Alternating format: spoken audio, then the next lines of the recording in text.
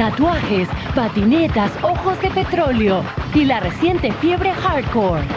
I don't think that we're a fad. I think that we're part of a fad. I think that we could go past it and I think that we will. Limp Bizkit abre la boca para contar su música en un especial de Ultrasound. Limp Bizkit Ultrasound. Viernes 9 México, 21 horas Buenos Aires.